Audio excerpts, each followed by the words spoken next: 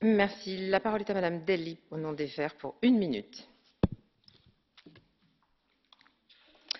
Madame la Présidente, Madame la Commissaire, mes chers collègues,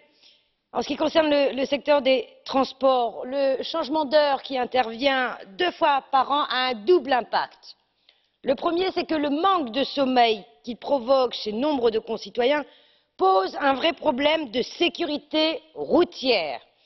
c'est la cause d'un grand nombre d'accidents impliquant notamment les usagers de la route les plus vulnérables et je pense aux piétons et aux cyclistes. il y a une deuxième chose importante qu'on oublie le secteur du transport des marchandises en europe qui n'est pas au beau fixe doit faire face chaque fois que l'on passe à l'heure d'été ou d'hiver à des charges administratives supplémentaires liées au changement d'heure. si on ajoute à cela le fait qu'aujourd'hui oui cela représente chez l'être humain un problème de santé publique il y a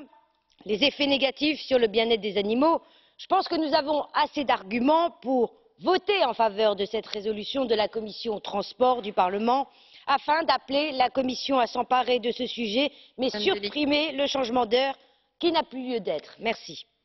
Monsieur Ciocca, pour une minute trente, au nom du groupe ENF